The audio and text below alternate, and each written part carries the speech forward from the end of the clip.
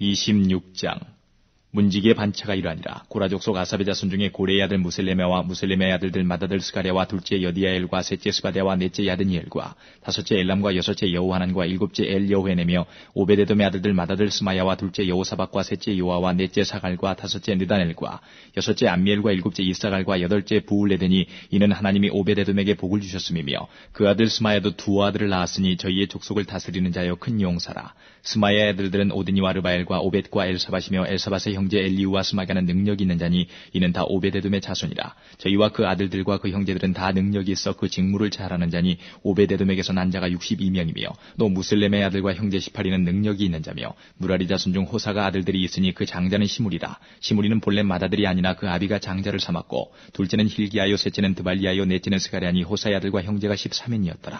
이상은 다 문지기의 반장으로서 그 형제처럼 직임을 얻어 여호와의 전에서 섬기는 자라.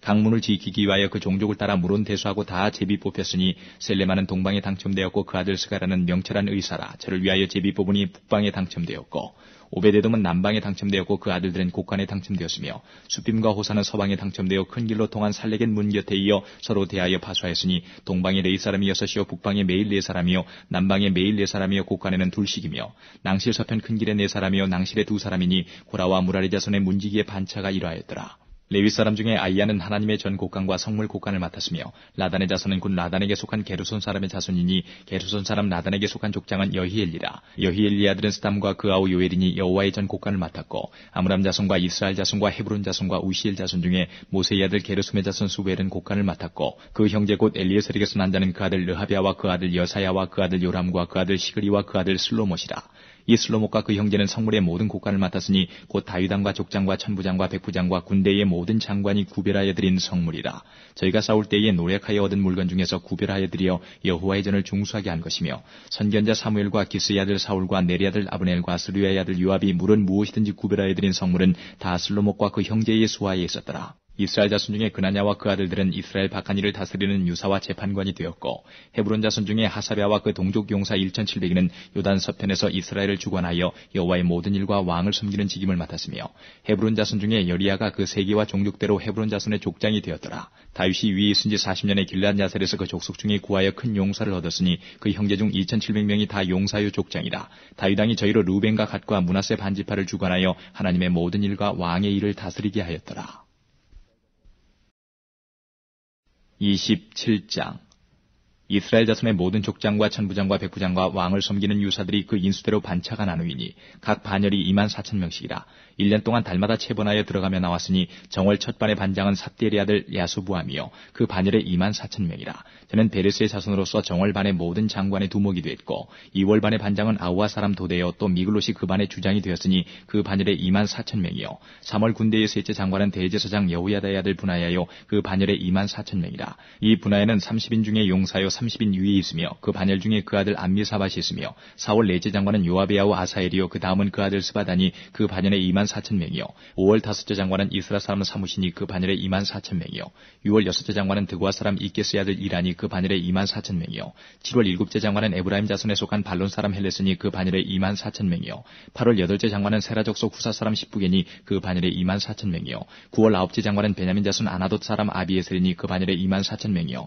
10월 열째 장관은 세라족 속 느도바 사람 마하래니 그 반열에 2만 4천 명이요 11월 열한째 장관은 에브라임 자손에 속한 비라돈 사람 브나야니 그 반열에 2만 4천 명이요 12월 열두째 장관은 옷니엘 자손에 속한 느도바 사람 헬대니 그 반열에 2만 4천 명이었더라.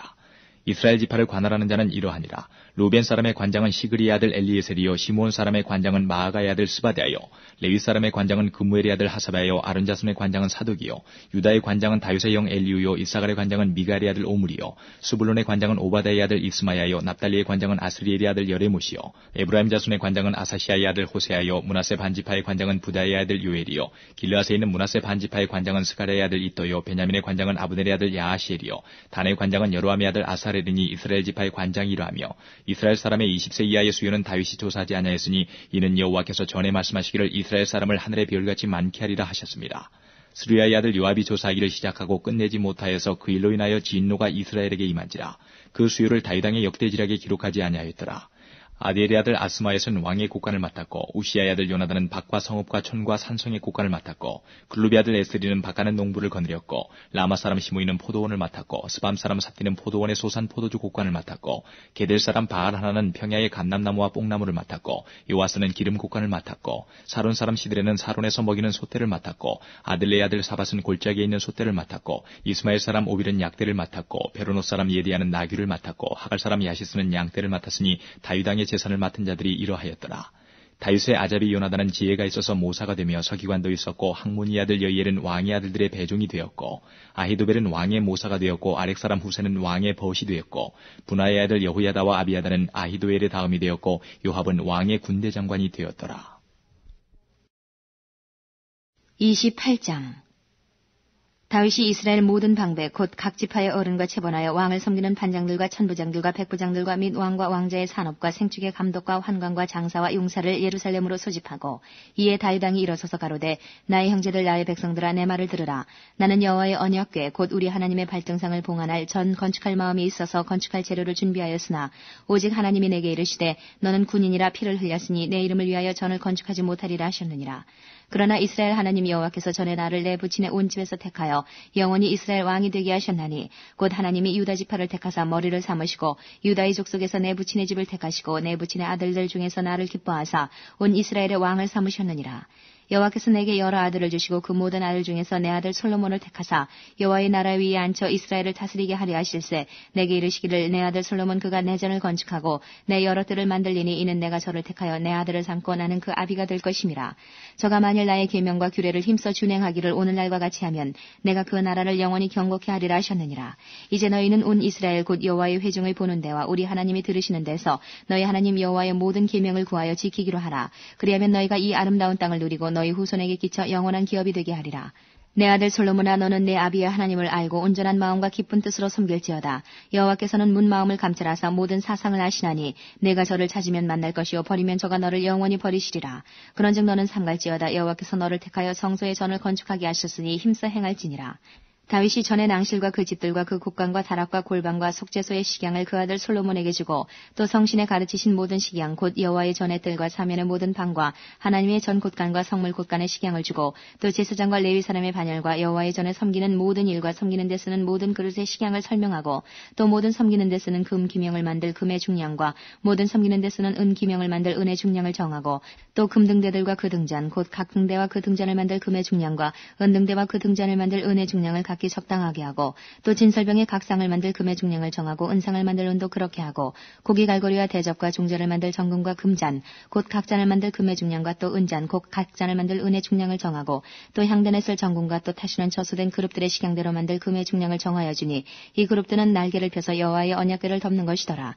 다윗이 가로되 이 위에 모든 것의 식양을 여호와의 손이 내게 임하여 그려 나로 알게 하셨느니라 또 그 아들 솔로몬에게 이르되 너는 강하고 담대하게 이 일을 행하고 두려워 말며 놀라지 말라. 내가 여호와의 전 역사의 모든 일을 마칠 동안에 여호와 하나님 나의 하나님이 너와 함께하사 내게서 떠나지 아니하시고 너를 버리지 아니하시리라. 제사장과 레이 사람의 반열이 있으니 여호와의 전의 모든 역사를 도울 것이요 또 모든 공역에 공개한 공장이 기쁜 마음으로 너와 함께할 것이요 또 모든 장관과 백성이 온전히 내 명령 아래 있으리라. 29장 다이당이 온 회중에게 이르되 내 아들 솔로몬이 홀로 하나님의 택하신 바 되었으나 오히려 어리고 연약하고 이 역사는 크도다. 이 전은 사람을 위한 것이 아니요 여호와 하나님을 위한 것이라. 내가 이미 내 하나님의 전을 위하여 힘을 다하여 예비하였나니 곧 기구를 만들 금과 은과 놋과 철과 나무며 또 만호와 박을보석과 꾸밀보석과 채석과 다른 보석들과 화반석이 매우 많으며 성전을 위하여 예비한 이 모든 것 외에도 내 마음에 내 하나님의 전을 사모함으로 나의 사위의 금 은으로 내 하나님의 전을 위하여 드렸노니 곧 오빌의 금 3천 달란트와 천은 7천 달란트라 모든 전벽에 입히며 금 은그릇을 만들며 공장의 손으로 하는 모든 일에 쓰게 하였노니 오늘날 누가 즐거이 손에 채워 여호와께 드리겠느냐 이에 모든 족장과 이스라엘 모든 지파 어른과 천부장과 백부장과 왕의 사무감독이 다 즐거이 드리되 하나님의 전 역사를 위하여 금 5천 달란트와 금다릭 1만과 은 1만 달란트와 논 1만 8천 달란트와 철 10만 달란트를 드리고 무릇 보석이 있는 자는 게르손 사람 여히엘의 손에 붙여 여호와의 전 곳간에 드렸더라. 백성이 자기의 즐거이 드림으로 기뻐하였으니 곧 저희가 성심으로 여호와께 즐거이 드림이며 다이당도 기쁨을 이기지 못하여 하니라. 다윗이 온 회중 앞에서 여호와를 송축하여 가로되 우리 조상 이스라엘의 하나님 여호와여 주는 영원히 송축을 받으시옵소서. 여호와여 광대하심과 권능과 영광과 이김과 위엄이 다 주께 속하였사오니 천지에 있는 것이 다 주의 것이로소이다. 여호와여 주권도 주께 속하였으니 주는 높으사 만유의 머리심이니이다. 부와 귀가 주께로 말미암고 또 주는 만유의 주제가 되사 손에 권세와 능력이 있사오니 모든 자를 크게 하심과 강하게 하심이 주의 손에 있나이다. 우리 하나님이여 이제 우리가 주께 감사하며 주의 영화로운 이름을 찬양하나이다. 나와 나의 백성이 무엇이간데 이처럼 즐거운 마음으로 드릴 힘이 있었나이다 아니까 모든 것이 주께로 말미암아 싸우니 우리가 주의 손에서 받은 것으로 주께 드렸을 뿐이니이다. 주 앞에서는 우리가 우리 열조와 다름이 없이 나그네와 우고한 자라 세상에 있는 날이 그림자 같아서 머무름이 없나이다. 우리 하나님 여호와여 우리가 주의 거룩한 이름을 위하여 전을 건축하려고 미리 저축한 이 모든 물건이 다 주의 손에서 왔사오니 다 주의 것이니이다. 나의 하나님이여 주께서 마음을 감찰하시고 정직을 기뻐하시는 줄 내가 아나이다.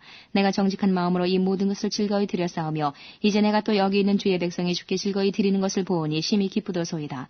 우리 우리 열주 아브라함과 이삭과 이스라엘의 하나님 여호와여 주께서 이것을 주의 백성의 심중에 영원히 두어 생각하게 하시고 그 마음을 예비하여 주께로 돌아오게 하옵시며 또 내 아들 솔로몬에게 정성된 마음을 주사 주의 기명과 법도와 윤례를 지켜 이 모든 일을 행하게 하시고 내가 위하여 예비한 것으로 전을 건축하게 하옵소서 다윗이 온 회중에게 이르되 너희는 너희 하나님 여호와를 송축하라 하매 회중이 그 열조의 하나님 여호와를 송축하고 머리를 숙여 여호와와 왕에게 절하고 이튿날 여호와께 제사를 드리고 또 번제를 드리니 수송아지가 일천이요 수양이 일천이요 어린 양이 일천이요 또 그 전제라 온 이스라엘을 위하여 풍성한 제물을 드리고 이날에 무리가 크게 기뻐하여 여호와 앞에서 먹으며 마셨더라 무리가 다윗의 아들 솔로몬으로 다시 왕을 삼아 기름을 부어 여호와께 돌려 주권자가 되게 하고 사독에게도 기름을 부어 제사장이 되게 하니라.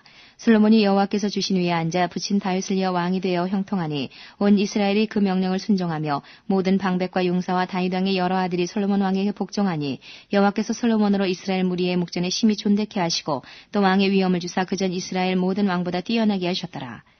이세 아들 다윗이 온 이스라엘의 왕이 되어 이스라엘을 치리한 날짜는 40년이라 헤브론에서 7년을 치리하였고 예루살렘에서 33년을 치리하였더라.